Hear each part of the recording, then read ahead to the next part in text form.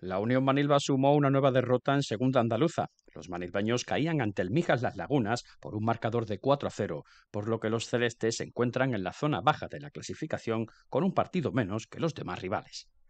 En cuanto a las categorías base del club, no fue un buen fin de semana para los manilbeños. De los 10 encuentros disputados, solo los equipos Benjamín A y B lograron la victoria ante Vázquez Cultural y Benavís, respectivamente.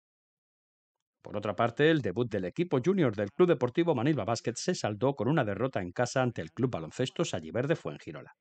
El encuentro finalizó con un 19 a 57 a favor de los visitantes. En cuanto al club senderista Los Cruz de Manilva, destacamos la gran carrera de Antonio Orozco en el Trail Pueblos Blancos, donde finalizó en la quinta plaza de la general y segundo de su categoría.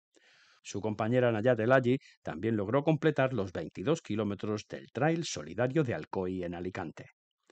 Finalmente, el corredor del Club Ciclista de Manilva, Fran Vázquez, era recibido en la oficina de deportes donde el edil Rogelio Pascual le entregaba una placa por su gran éxito en el Campeonato de España de Policías Locales de Bicicleta de Montaña, donde fue campeón de la categoría Master 40.